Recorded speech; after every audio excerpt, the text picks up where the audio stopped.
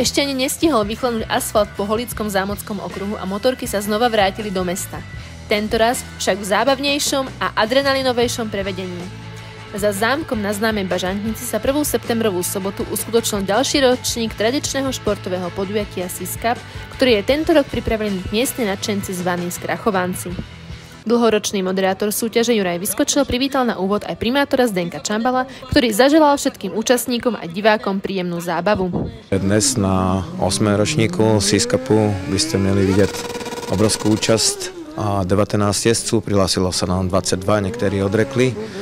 A okrem teda dvoch kol SISCAPu, dvoch súťažných kol kaskaderských a veľkého bordelu samozrejme, jak to býva už u nás zvykem, počas tých 8 ročníkov, tak uvidíte medzi každú súťažu a na konci ešte v podstate show, Special Brothers Show.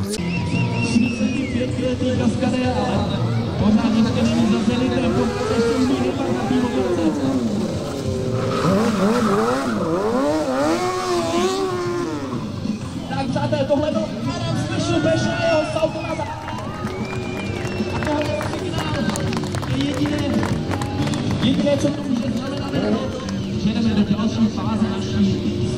tento rok sa súťaže zúčastnili aj motocykloví kaskadery zo zahraničia.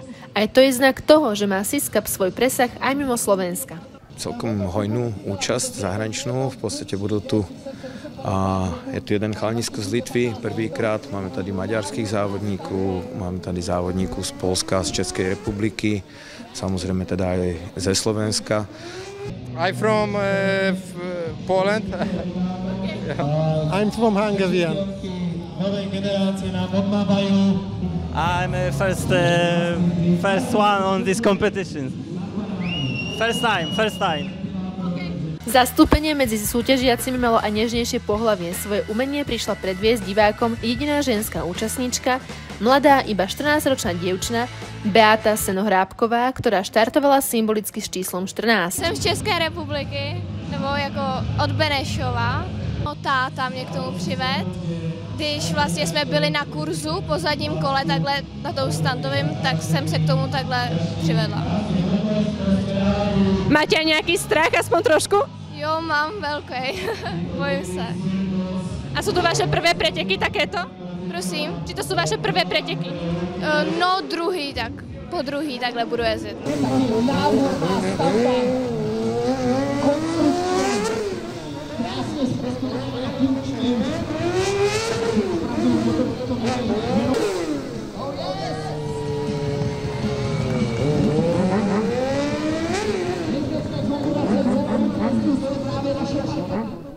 Štartovej listine nechýbal ani domáci účastník a jeden zo spoluzakladateľov podujatia Ludvík Heleši. Každý jazdec ukázal svoju vlastnú originálnu súťažnú zostavu.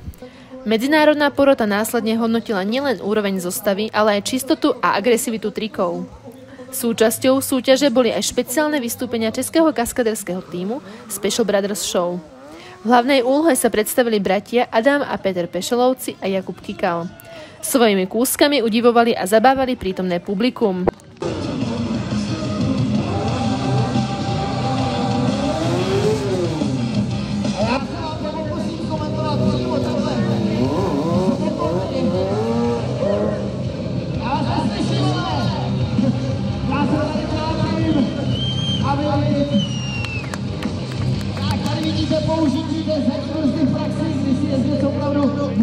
Korigovat všechno brzdy. Eh, Motor Kuku vytýkala, protože je to nejenom funkční GSX 750 z roku eh, 2015, ale je to taky nádherná stavba.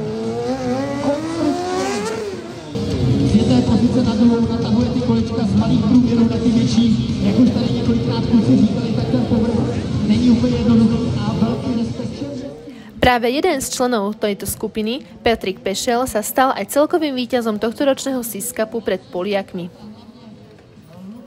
Holíčan Ludvík Heleši obsadil celkovo 13. miesto a medzi slovenskými jazdcami skončil na druhej pozícii.